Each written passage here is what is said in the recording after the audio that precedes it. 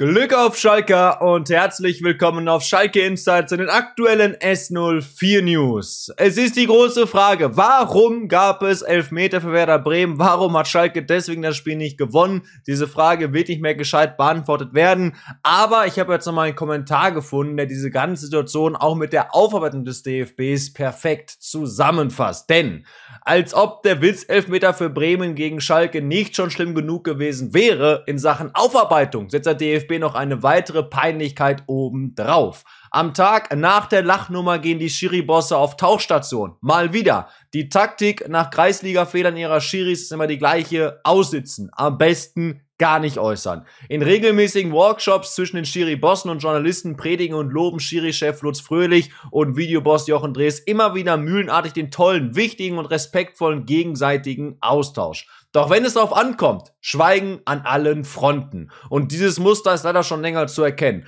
Anrufe werden nicht beantwortet, Rückrufbitten ignoriert, die Austausche verkommen so zu Farce. Die Zeit könnte man sich als Journalist sparen, wenn es so läuft. Und Witz Elva, Referee Tobias Stieler, der lässt sein Handy am Tag nach dem Megagop einfach mal komplett aus. Sicher ist sicher. Und dabei geht es ja auch anders. Charakterschiedsrichter wie Ex-Referee Manuel Gräfe oder auch Dennis zuletzt ja bei der gelb-roten Karte für Dortmunds Dahut, machen das, was die Öffentlichkeit zu Recht von ihnen erwarten darf. Sie bezogen und beziehen Stellung zu zweifelhaften Entscheidungen und Fehlern. Aber ein bisschen Verständnis muss man wohl haben. Für Stieler wäre das dann eine fasche wöchentliche und obligatorische Veranstaltung. Sonntagnachmittag wurde dann der Druck auf die Schiri-Bosse aufgrund vieler Nachfragen doch wohl zu groß. Sie veröffentlichen ein Interview auf der Homepage des DFB. Wichtig, Interview in Anführungszeichen.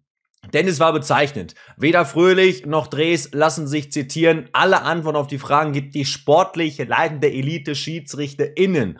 Ob die Damen und Herren diese Antworten wohl im, Chor, im Chor gesungen haben, immerhin, es wurde brav gegendert, das ist natürlich wichtig. Auch wenn es in diesem Pseudo-Interview eingeräumt wird, dass sich Videoschiri Christian Dangert besser nicht eingemischt hätte, es fehlt ein Aspekt komplett. Mit keinem Wort erwähnt die sportliche Leitung der Elite-SchiedsrichterInnen, dass FIFA-Schiri Stieler sich die Szene in Bremen selbst minutenlang am Monitor angeschaut hatte, dann zur Erkenntnis gekommen war, es sei ein Elfmeter. Keine Kritik an ihm und seiner unglaublichen falschen Einschätzung, nur am VR, der natürlich besser geschwiegen hätte. Und genau das ist der eigentliche Skandal. Stieler gilt zumindest offiziell als einer der besten Referees in Deutschland und wenn er der Meinung ist, dass in Bremen sei ein Elfmeter, dann gute Nacht.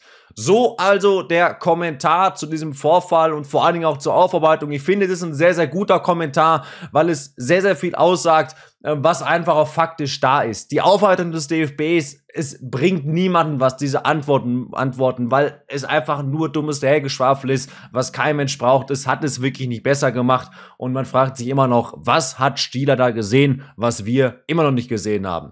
Eure Meinung dazu gerne in die Kommentare und dann sehen wir uns im nächsten Video wieder. Macht es gut, ciao und Glück auf an alle Schalker.